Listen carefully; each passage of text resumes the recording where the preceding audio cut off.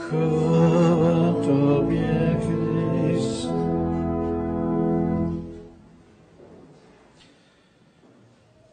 Kochane dzieci, drodzy rodzice, w pierwszym czytaniu z księgi proroka Izajasza usłyszeliśmy bardzo ważne słowa. Prorok w Starym Testamencie to niewątpliwie ważna postać. Mówi o bardzo ważnych sprawach dla każdego człowieka, ale też dla całego narodu wybranego.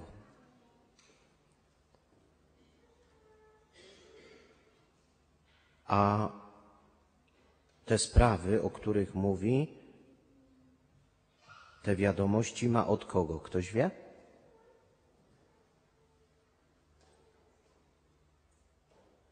No, od Pana Boga. Dlatego jest taki ważny. Można powiedzieć, tylko on wtedy miał telefon do Pana Boga i mógł z nim rozmawiać. Prorok głosił proroctwa, czyli przepowiadał to, co ma nastąpić. Ale to nie było takie przepowiadanie jak jakieś wróżki czy horoskopy, ale była to przyszłość widziana oczami Pana Boga. I prorok Izajasz ogłasza wielką radość, która nadchodzi. Kto z nas nigdy się nie cieszył? Ręka do góry. Ale tak nigdy.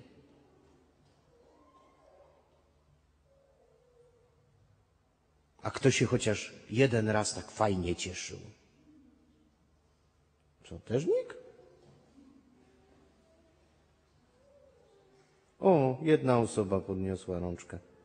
Jedna szczęśliwa. Słuchajcie, kiedy się najbardziej cieszymy?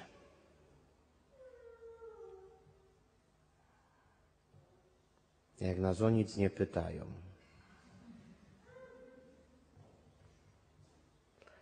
Zobaczcie, cieszymy się w różnych sytuacjach. Nieraz one są malutkie, bo na przykład dostaniemy loda, albo ktoś nam jakieś cukierki da, albo mamy urodziny, albo imieniny, to już takie troszkę większe. Ale jak na przykład zostajemy uczniami szkoły, to już tak bardziej się cieszymy, chociaż najbardziej się potem cieszymy, jak przychodzą co? A co się skończyło niedawno? Wakacje, no, bo wtedy się można dwa miesiące cieszyć.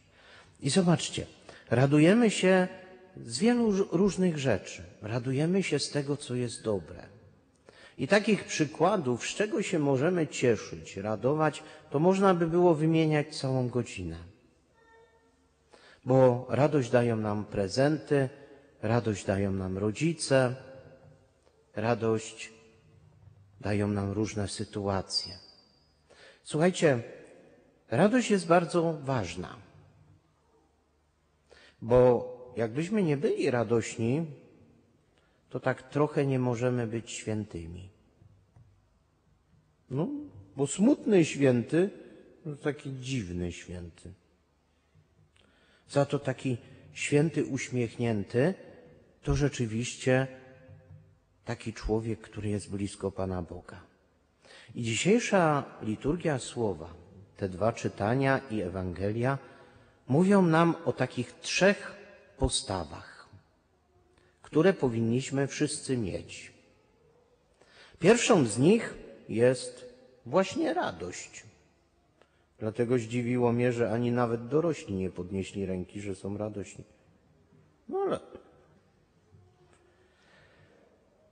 Druga postawa to szacunek wobec bliźniego. Zauważmy, jak wiele osób tutaj jest w świątyni. Każdy z nas przychodzi z innego domu. Ma inną rodzinę, innych rodziców. Oni z kolei mają różną pracę, zajęcia. Nasi bliscy są w różnym wieku, a mimo to wszyscy patrzymy na ten sam świat. Chociaż patrzymy swoimi oczami, każdy swoimi. Nie da się pożyczyć oczu od drugiej osoby.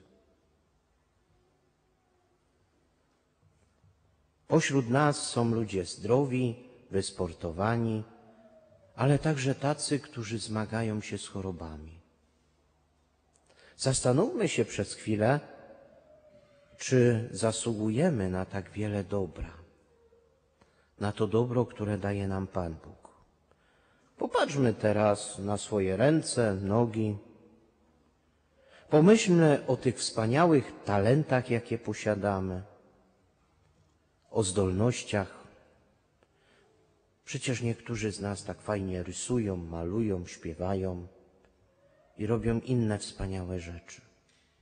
Zobaczcie, jak tych rzeczy jest wiele. I wszystko to, co posiadamy, co umiemy, dostaliśmy od Pana Boga. I co jest ważne, to nas różni od innych osób. Bo Pan Bóg chce, żebyśmy się radowali, abyśmy służyli innym. Często zdarza się, że ludzie są wobec siebie tacy surowi, pochmurni.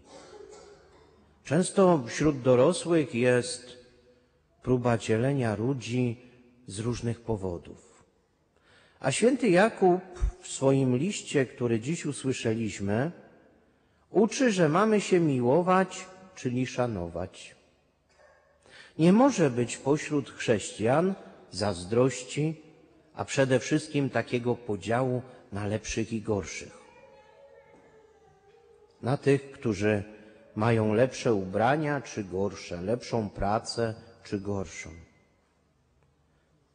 Rzeczy materialne nie czynią nas lepszymi od innych. W oczach Pana Boga wszyscy jesteśmy równi. Każdy z nas jest dzieckiem Pana Boga.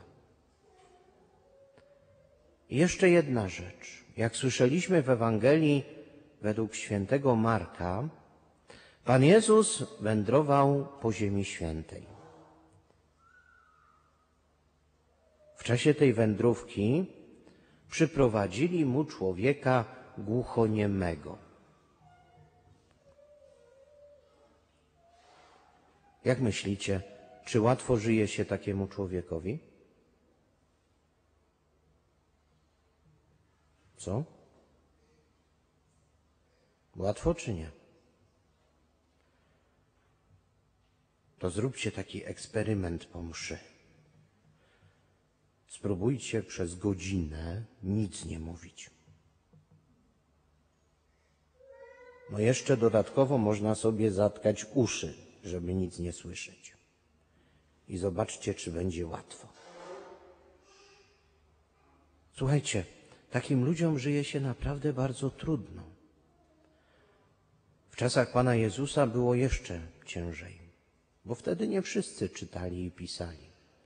A dzisiaj osoba, która nie mówi czy nie słyszy, może napisać na kartce, na tablecie, wysłać SMS-a.